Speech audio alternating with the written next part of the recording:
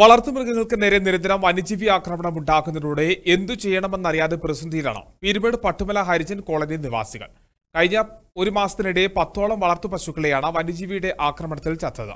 പുലിയുടെ ആക്രമണത്തിലാണ് പശുക്കൾ ചത്തതെന്നാണ് ദൃക്സാക്ഷികൾ പറയുന്നത്. എന്നാൽ ഇതുമായി ബന്ധപ്പെട്ട വനംവകുപ്പിന്റെ ഭാഗത്തു നിന്നും സ്ഥിരീകരണം ഉണ്ടായിട്ടില്ല. പ്രദേശത്ത് ക്യാമറ സ്ഥാപിക്കാനുള്ള ഒരുക്കത്തിലാണ് വനംവകുപ്പ്. പീരുമേട് ഗ്രാമപഞ്ചായത്തിൽ പട്ടുമല ഹരിജൻ കോളനി പൂങ്കാവനം മേഖലയിലാണ് വളർത്തു പശുക്കൾ വന്യജീവി ആക്രമണത്തിൽ ചത്തത് ശബരിമല വനമേഖലയുമായി ബന്ധപ്പെട്ട് കിടക്കുന്ന പ്രദേശമാണ് ഇവിടം. ഇവിടെ തേയിലത്തോട്ടത്തിലേക്ക് പശുക്കളെ മേയ്ക്കാൻ അഴിച്ചുപിടിക്കുകയാണ് പതിവ്. ഇങ്ങനെ പോകുന്ന പശുക്കളാണ് വന്യജീവി ആക്രമണത്തിൽ ചത്തത്. ഒരു മാസത്തിനിടെ പത്തോളം പശുക്കൾ ചത്തെന്നാണ് പ്രദേശവാസികൾ പറയുന്നത്. ഇപ്പോൾ പതിനഞ്ച് പശുക്കളേ ഉള്ളൂ. ഈ മാസം തന്നെ മൂന്ന് പശുക്കൾ പോയിട്ടുണ്ട് രണ്ടെണ്ണം ഞാൻ കുഴിച്ചുമൂടി ഒരെണ്ണം മാത്രമേ പരാതിപ്പെട്ടിട്ടുള്ളൂ. ഞങ്ങൾ എല്ലാ കൊല്ലവും പറഞ്ഞ് പറഞ്ഞ് മടുത്ത് ഞങ്ങൾക്ക് ജീവിക്കാൻ പറ്റില്ല ഞങ്ങളുടെ പറമ്പിൽ പോകാൻ പറ്റില്ല.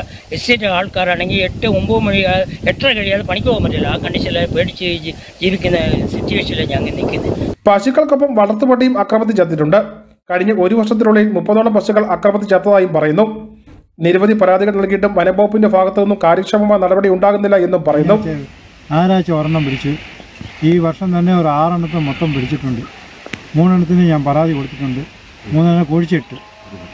ഒരു പട്ടി എന്റെ വളർത്തു പട്ടിയും പിടിച്ച് ഞങ്ങൾ നേരിട്ട് കണ്ട.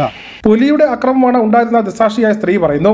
ഭയന്നിട്ട കുടിവെള്ളം വിറക് എന്നിവ ശേഖരിക്കാൻ പോലും തോട്ടത്തിലേക്ക് പോകാൻ കഴിയാത്ത സാഹചര്യമാണെന്ന് പറയുന്നു. ഒരു ഒച്ച. ഒച്ച കേട്ടപ്പോൾ ഇങ്ങനെ നോക്കിയപ്പോൾ രണ്ടെണ്ണം ഇങ്ങനെ ചാടി അത് പുലി തന്നെ വേറെ ഒന്നുമില്ല. ചുമള കളറിലുണ്ട്. രണ്ടെണ്ണം ചാടി അങ്ങോട്ട് പോയി. ഞാൻ കയ്യാലയുടെ പുറത്ത് കയറി ഒരു പേരമരം ഉണ്ട് അത് പിടിച്ചിങ്ങനെ നോക്കിയപ്പോൾ ഇങ്ങനെ പശുവിനെ തിന്നിട്ടിരിക്കും അത് കണ്ടിട്ട് ഞാൻ ഓടി വന്നു. വിറക് അവിടെ ഇട്ടിട്ട് ഓടി വന്നു. തേയിലത്തോട്ടത്താൽ ചുറ്റപ്പെട്ട പ്രദേശത്തെ ആളുകൾ ഭീതിയോടെയാണ് ഇപ്പോൾ കഴിയുന്നത്.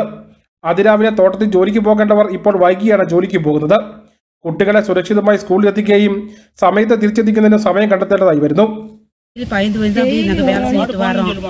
டெய்லி பயந்து வந்தால் நாங்கள் வேலை செஞ்சு எங்கே வர காடுன்னு பாருங்க எதுவும் கிடந்தாலும் தெரியாது அதனால் ரொம்ப பயமா இருக்கு எங்கள் மாடும் ஒரு மாடு சென மாடு ஒரு ஒரு மாதத்துக்குள்ள ஈனக்கூடிய மாடு அடிச்சு போட்டு വന്യജീവിയുടെ അക്രമമാണ് എന്ന് വനം വകുപ്പ് സ്ഥിരീകരിക്കുന്നുണ്ട് പുലിയാണോ എന്ന കാര്യത്തിൽ സ്ഥിരീകരണമില്ല മുറിഞ്ഞുപുഴ ഫോറസ്റ്റ് സെക്ഷന്റെ കീഴിലാണ് ഇവിടം വനം വകുപ്പ് ഉദ്യോഗസ്ഥർ സ്ഥലം സന്ദർശിച്ച് തൊട്ടടുത്ത ദിവസം തന്നെ പ്രദേശത്ത് ക്യാമറ സ്ഥാപിക്കാനുള്ള ഒരുക്കത്തിലാണ് Nijil K Mathew Idukki vision news Peermade